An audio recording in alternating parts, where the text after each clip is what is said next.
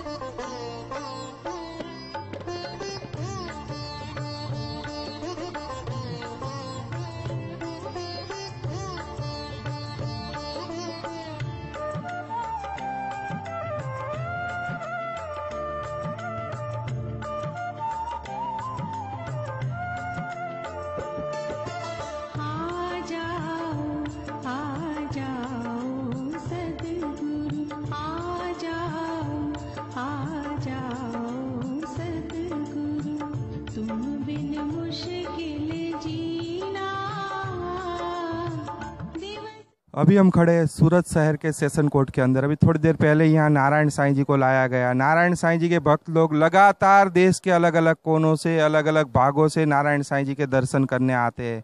नारायण साईं जी को यहीं सूरत लाजपुर जेल में चार साल हो गए। तो आइए जानते हैं आज भी काफ़ी सारे भक्त लोग आए उनसे जानते हैं कि चार साल के बाद भी नारायण साईं जी के प्रति उनकी श्रद्धा उनकी आस्था कैसी है? अ, क्या नाम है भैया आपका? रजनीकांत भट्ट नाम है मेरा। कहाँ से आए हो? राजस्थान सागवाड़ा से।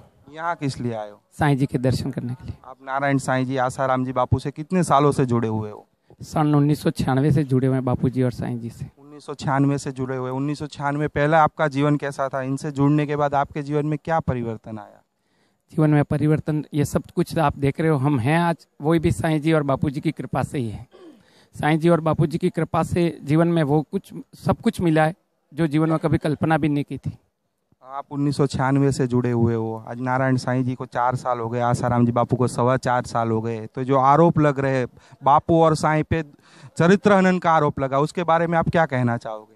मैं तो यही कहना चाहूँगा कि बापूजी और साईं जी ने पिछले 40-45 सालों से इस देश में जो संस्कृति की रक्षा के लिए कार्य किया है, उसको नज़रअंदाज करके किसी के कहने पर इस प्रकार के मनगढ़ंत आरोप लगा के चार चार साल तक ऐसे महापुरुषों को, जो कि ब्रह्मज्ञानी महापुरुष हैं उनकी पिछले कई सालों की सेवाओं को नहीं देखा गया और किसी के कहने पर इस प्रकार के आरोप लगाकर आज भी न्याय प्रक्रिया में इतना विलंब बड़े दुख की बात है इस देश के लिए। आज भी श्रद्धा बरकरार है क्या? श्रद्धा की बात मत करो सौ टका नहीं दो सौ टका है साईं जी और बापू जी के लिए। हमारा जीवन समर्पित है। आ, प्रशासन से आप क्या मांग करना चाहोगे? प्रशासन से यही उम्मीद है कि जितना जल्दी हो सके साईं जी और बापू जी को बाहर लाएँ और इस देश की संस्कृति और धर्म की रक्षा करवाएँ। यही हमारी अपेक्षा है। आइए और लोगों से बात करते हैं। क्या नाम है भैया मैं कुलताज मान दिल्ली से आया हूँ। यहाँ किस लिए आए नारायण साईं जी के दर्शन करने के लिए आए हैं। बार बार आते रहते हैं उनके दर्शन कर आप कितने सालों से नारायण साईं जी आसाराम जी बापू से जुड़े हुए हो? सोलह साल से जुड़े हुए हैं। सोलह साल पहले आपका जीवन कैसा था? इनके जुड़ने के बाद आपके जीवन में क्या परिवर्तन आया? बहुत ही ज़्यादा परिवर्तन है। जैसी संस्कृति को हमने जाना से पहले अपनी हिंदू संस्कृति को हम जान ही नहीं पाए थे उनके आने के बाद में उनसे संपर्क में आने के बाद में सहयोग में आने के बाद में हमने बहुत कुछ हमारे जीवन में हमारे हमारे में नहीं जितने भी हमारे साथी लोग हैं उनमें भी काफ़ी परिवर्तन आया है। क्या आज भी बापू और साईं को आप भगवान की तरह मानते हैं? बिल्कुल ही मानते हैं। हम तो रोज पूजा पाठ सुबह शाम दोनों ही टाइम करते हैं और उनके श्री चरणों का दर्शन करते रहते हैं। प्रशासन से आप क्या मांग करना चाहते प्रशासन से यही मांग है कि जल्दी से जल्दी इस केस को खत्म किया जाए। जो ये बेकार के और अनर्गल दोष लगाए गए हैं उन पे जानबूझ के लगाए गए हैं और इसमें बहुत बड़े षड्यंत्र की बू आती है। आइए और लोगों से बात करते हैं। क्या नाम है भैया आपका? धर्मेश भट्ट नाम है मेरा। कहाँ से आए हो? मुंबई से आया हुआ सर। क्या करते हो मुंबई? जॉब करता हूँ प्राइवेट कंपनी में। आप जॉब करते हो एक युवा हो कितने सालों से आप नारायण साईं जी और आसाराम जी बापू से जुड़े हो? मैं दस साल से बापू जी और साइंस से जुड़ा हुआ हूँ दीक्षित हूँ बापू जी से दीक्षा ली हुई है क्या मैंने। फ़ायदा मिला बापू और नारायण साईं जी जो पहले से मेरा जीवन था वो उतना अच्छा नहीं था मतलब पढ़ाई में और ये जो जॉब वगैरह में। अभी जो साइंस से जुड़ने के बाद अच्छे संस्कार है अच्छे प्रवृत्ति के लोग हैं हम और संस्कृति के हिंदू संस्कृति को जानते हैं और उसके बाद से जीवन ये अच्छा है कि जॉब वगैरह में है और अभी भी साइंस आश्रम से जुड़े हुए और सत्संग से जुड़े हुए लोग। बापू पे चरित्र हनन का आरोप लगा साई और बापू पे तो उसके बारे में क्या कहो? झूठा आरोप लगा है ऐसा कुछ है ही नहीं जिस चीज़ को मन मनगढ़ंत कहानियों को एक दूसरे को। और नहीं तक अभी तक प्रूफ भी नहीं हुआ है कि जो एक की तरह लगी है जहाँ पे वो डीसीपी साहब बता रहे हैं कि वो ऐसी हुआ नहीं है रेप वगैरह कुछ हुआ नहीं है फिर भी उतनी आरोप लगाए हुए हैं जो धाराएँ लगाई हुई वो भी सब गलत है। तो हम यही बरकरार करते हैं प्रशासन से कि जो भी आरोप जो लगाए उनको एक बात अच्छे से चेक किया जाए एक बार दोबारा जाँच की जाए और जल्दी से जल्दी रिहाई के लिए कुछ किए की जाए। हाँ, आइए और लोगों से बात करते हैं। क्या नाम है माता जी आपका? शर्मिला। कहाँ से आए हो? दिल्ली से। यहाँ किस लिए आए हो? नारायण साईं जी के दर्शन करने। कितने सालों से आप जुड़े हो नारायण? साल से। सोलह साल से जुड़े हो। आपके जीवन में क्या फ़ायदा मिला नारायण साईं जी आसाराम जी बापू से जुड़ने से? हमारे जीवन में बहुत फ़ायदा हुआ। हमारे पूरे परिवार हमारे बच्चे छोटे छोटे बच्चे भी जुड़े हुए हैं साईं जी से और बहुत अच्छे से बापू जी से भी। और अगर यही है कि हम दिल्ली से जो सूरत दर्शन करने आए हैं तो उसी का परिणाम है। आज बापू और साई पे चरित्र हनन का आरोप लगा तो उसके बारे में आप क्या कहना चाहोगे? बिल्कुल झूठ है। झूठा आरोप लगाया गया है साईं जी पे और बापू जी पे। बापू साई चार सालों से जेल के अंदर बंद है तो भी श्रद्धा बरकरार है क्या? बिल्कुल बरकरार है हमारी पूरे परिवार की। प्रशासन से आप क्या मांग करोगे? जल्दी से जल्दी बाहर आए और जल्दी से जल्दी केस को ख़त्म किया जाए। संजय पुरोहित नाम है मेरा। हाँ, कहाँ से आए हो? मैं सागवाड़ा राजस्थान से हूँ। यहाँ किस लिए आए हो? पूज्य साईं जी के दर्शन करने। आप कितने सालों से जुड़े हुए हो? मैं सन 2000 से जुड़ा हुआ हूँ पूज्य साई जी और बापू जी से। 2000 साल से जुड़े जुड़े हुए हो आप तो बापू और साई से आपको क्या फ़ायदा हुआ?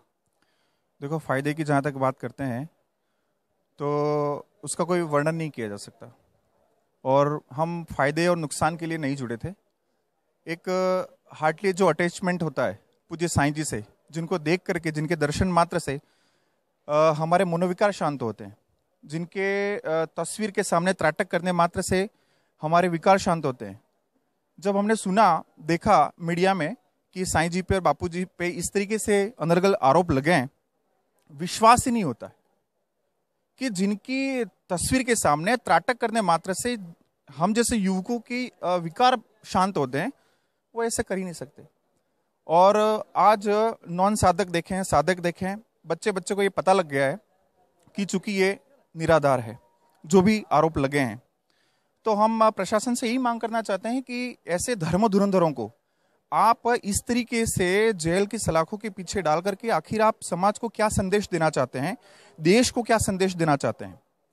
अ, हम तो यही कहते हैं कि अ, अगर आप धर्म समाज और बच्चे कुचे हिंदू राष्ट्र की अगर रक्षा करना चाहते हैं तो निश्चित रूप से ऐसे धर्म धुरंधरों को ऐसे बापू जी जैसे पूज्य साईं जी जैसे महान संतों को आप बाहर लाएँ समाज के सामने लाएँ समाज को आज की समाज को आधुनिक समाज को पूज्य साईं जी और बापू जी जैसे संतों की अत्यावश्यकता है। आप सत्रह सालों से जुड़े हुए हो तो उसके पहले आपका जीवन कैसा था? इनसे जुड़ने के बाद जीवन में क्या परिवर्तन आया? बिल्कुल मैं एक ब्राह्मण कुल से बिलोंग करता हूँ और करने बावजूद भी मुझे नहीं पता था जब मैंने अपने होश संभाले तब से लेकर के मुझे नहीं पता था कि माला कैसे घूमती है। लेकिन जब से बापू जी के संपर्क में आया पूज्य साईं जी के संपर्क में आया मुझे पता चला कि दीक्षा क्या होती है शिक्षा क्या होती है। मुझे भेद समझ में आया माला कैसी घूमती है मुझे समझ में आया धर्म अधर्म क्या है मुझे समझ में आया विवेक अविवेक क्या होता है मुझे समझ में आया। पूज्य साइंस जी से जुड़ने के बाद में काफ़ी फ़ायदे हैं जिनको अगर मैं लिखूं तो शायद ये जन्म पूरा नहीं हो पाएगा। प्रशासन से क्या मांग करोगे? बस यही है कि निश्चित रूप से हमारे साईं जी और बापू जी को हमारे बीच लाएँ सम, समाज के बीच लाएँ ताकि समाज को उनका फ़ायदा मिल सके। आइए और लोग? क्या नाम है बहन जी आपका? भारती। कहाँ से आए हो? सागवाड़ा से। यहाँ किस लिए आए हो? दर्शन करने साईं जी के। कितने सालों से आप नारायण साईं जी आसाराम जी बापू से जुड़े हुए? बीस सालों से जुड़े हुए। बीस साल में आपको जीवन में क्या फ़ायदा हुआ? फ़ायदे की बात तो क्या बताए अब यहाँ हम खड़े हैं वही उनकी बदौलत है बस। बीस साल पहले आपका जीवन कैसा था? आपके परिवार का इनसे जुड़ने के बाद आपके जीवन में क्या परिवर्तन आया? बहुत बहुत बदलाव आया हमारे जीवन में। पूरा जीवन ही बदल गया है साईं जी से जुड़ने के बाद में। आप एक महिला होते के नाते प्रशासन से आप क्या मांग करोगे? यही कि जल्दी से जल्दी साईं जी बापू जी रिहा है हमारे बीच में आए। और ये जो बापू और साईं पे चरित्र हनन का आरोप लगा उसके बारे में क्या कहना चाहते कुल झूठा आरोप है ये। किसी एक के लगाने पे ये आरोप नहीं लगता गलत है ये आप आरोप बीस सालों से आश्रम में जाते थे तो क्या कभी ऐसा देखा था क्या? कभी कभी नहीं कभी नहीं देखा। आइए और लोगों से बात करते क्या नाम है माता लता। कहाँ से आए हो? सागवाड़ा से। यहाँ किस लिए आए हो? साईं जी के दर्शन करने के लिए। कितने सालों से आप जुड़े हो साईं से? पंद्रह साल से। पंद्रह साल में आपके जीवन में क्या फ़ायदा हुआ इनसे जुड़ने से? साई जी से जुड़ने से बहुत फ़ायदे है हमारे जीवन में। हम पहले माला पिक्चरें देखते थे ऐसे ही घूमते रहते थे। लेकिन साई जी के दर्शन के बाद हमारा जीवन बहुत परिवर्तन आ गए। और माला पूजा करने से बहुत शक्ति और धैर्य मिला हमें। आप इतने सालों से आश्रम जा रहे हो जब बापू और साई पे आरोप लगा उसमें कितनी सच्चाई है? ये आरोप झूठा लगाया है। इस आरोप में कोई सच्चाई नहीं है। ये हम ऐसा हो ही नहीं सकता। बापू जी हमें बच्चों की तरह पालते कभी देखा था कि आश्रम में ऐसा होता? नहीं कभी नहीं देखा। हो ही नहीं सकता है। बापू जी ऐसा सोच भी नहीं सकते। ये झूठा आरोप लगाया बापू जी को फंसाया। आप एक महिला होने के नाते प्रशासन से आप क्या मांग करोगे? यही कि बापू जी और साईं जी को जल्दी से रिहा कर दे। आपने देखा, लगातार भक्त लोग देश के अलग अलग कोनों से अलग अलग भागों से नारायण साईं जी के यहाँ दर्शन करने आते और प्रशासन से एक ही मांग कर रहे हैं कि जल्द से जल्द आसाराम जी बापू को जल्द से जल्द नारायण साईं जी को रिहा किया